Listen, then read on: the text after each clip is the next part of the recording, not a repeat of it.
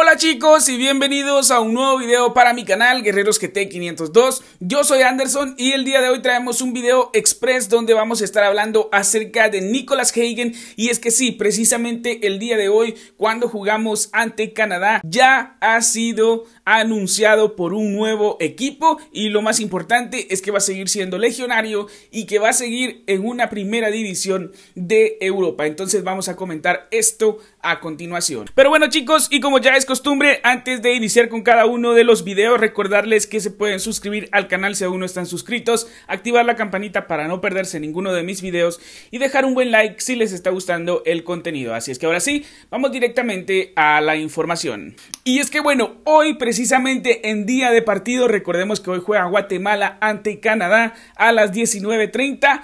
Hoy, en día de partido, uno de nuestros jugadores, en este caso Nicolas Hagen, fue anunciado como nueva contratación del equipo Benei Sakhin FC de la primera división de Israel. Así es que Nicolas Hagen va a continuar en Europa y va a continuar jugando en una primera división, ya que este equipo juega en la Premier League de Israel, donde por cierto va a jugar también Matan Peleg. Así es que vamos a tener enfrentamiento de guatemaltecos en la primera primera división de Israel. Para conocer un poquito más acerca de este club, Benei Sakin FC, como les digo, Premier League de Israel, Nicolas Hagen fue firmado por un año y con opción a firmar por dos más, dependiendo obviamente de su rendimiento. En la última temporada, el Benei Sakin fue octavo lugar de la liga, el estadio donde juegan como locales se llama Doha Stadium y tiene capacidad para 8.500 espectadores. Hablando, como les digo, del choque de guatemaltecos en esta liga,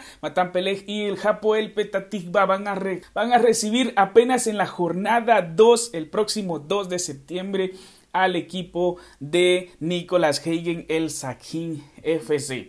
Interesante ver cómo eh, pues Nicolas Hagen va a seguir en una liga para mí similar al nivel de la liga de Noruega, quizá un poquito más eh, arriba porque recordemos que este año por ejemplo la liga de Noruega no tuvo equipos en la Champions League y la liga de Israel sí, incluso les voy a dejar acá un resultado 2 a 0 eh, que el Maccabi Haifa le terminó ganando a la Juventus que sin duda alguna pues es un resultado histórico para ellos.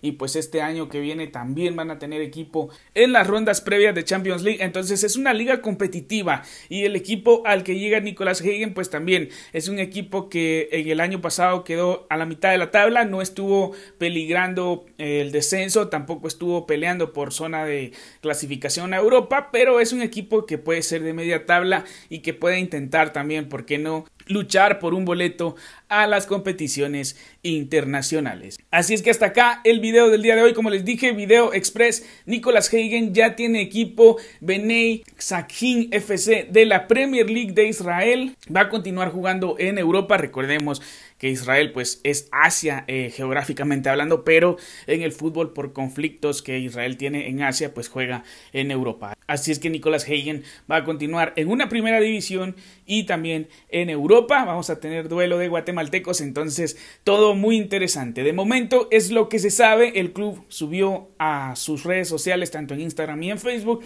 la publicación haciendo oficial la llegada de Nicolas Hagen. Me gustaría saber sus opiniones, las pueden dejar acá abajo en los comentarios piensan acerca del cambio de equipo y del cambio de liga y sobre todo yo creo que lo más importante es que va a seguir jugando en Europa y en una primera división. Si les gustó el video no olviden dejar su like, yo soy Anderson y nosotros nos vemos hasta la próxima, chao.